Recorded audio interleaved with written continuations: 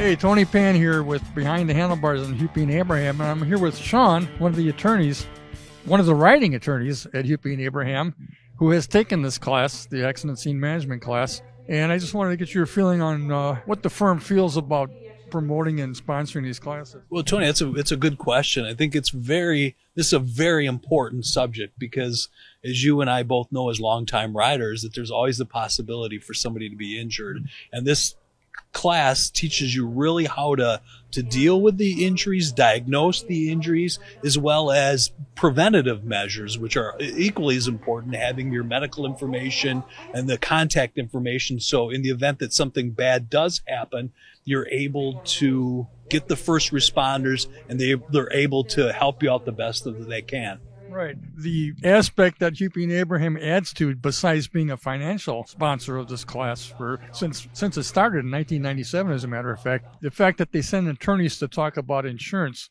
and the, the necessary things you need to do to make sure you protect yourself is really really important. And uh, also getting a good attorney is very very important. Your goal as an as a law firm first of all, it's your duty to your clients, but you also have a, uh, a community duty to try and prevent accidents.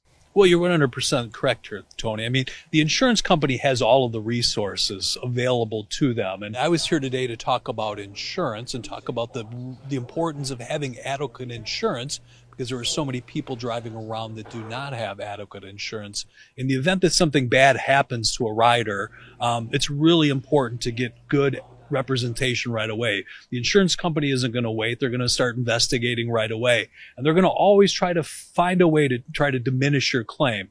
And if, you know, by hiring Hupy and Abraham, right from the get go, we're able to go there. We're able to get that important information so we can stand up to the insurance company and make sure that you get your money that you deserve at the end of the case. Well, thanks again for coming up here, Sean. I appreciate the fact that you're a writer, so you have a, a special knowledge and, and uh, understanding about what, what this is all about.